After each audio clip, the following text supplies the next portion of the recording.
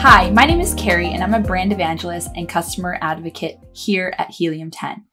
Today, I want to show you how to connect your Walmart Seller Center account to your Helium 10 account so that you can have access to profits, which will give you an easy overview of your profits on walmart.com.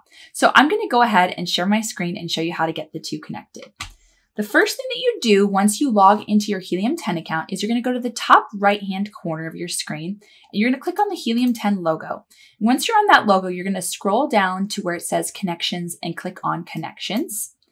When the next screen pops up, you're going to click on the plus sign over add seller account. So where it says add seller account, just click that plus button. And then there's a screen that pops up and you're going to choose connect to Walmart. So we're going to click connect to Walmart here. And right here on this page right here, it's going to actually have a pop-up where you need to name that account. So this is going to help you to remember which account that you are connecting.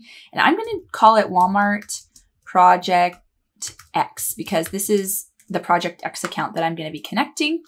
So then I'm going to go ahead and hit next.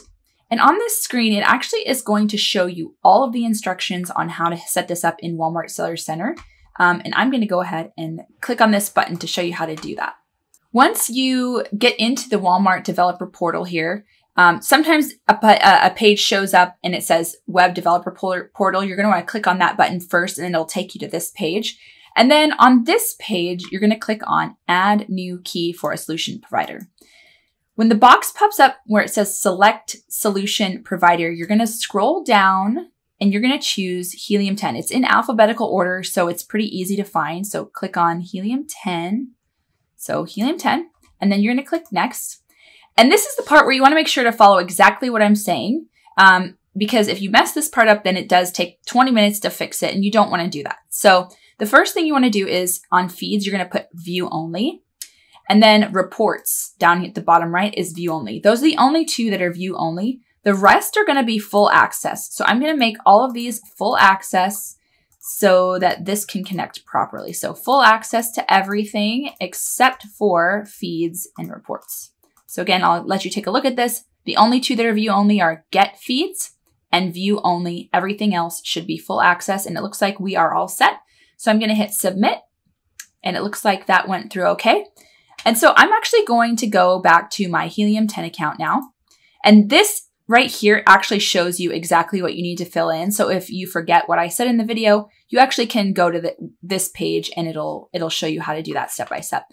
The next thing we need to do is add our credentials from that page that we saw in Walmart a Seller Center. So I'm going to go back to that and I'm going to copy this client ID first. And then I'm going to go back and I need to paste it in here. And so that's the first thing that I copy and paste. And then the second thing is you want to copy the client secret key. So you actually have to unhide it first and then click copy. And then I'm going to paste it down at the bottom here.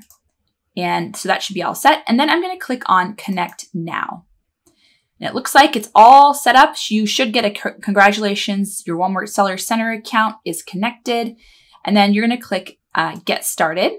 So it should fill up there. So here we, we can see it right here in Walmart Project X. So it's all set up and ready to go. Now, this actually takes 24 hours the first time that you start to do it. Um, so basically, what you're going to want to do is you're going to want to wait 24 hours and all of the data will load in and then you'll be all set to see all of your profits uh, from walmart.com on your Helium 10 account. Thanks so much for tuning in. Have a great day. Bye.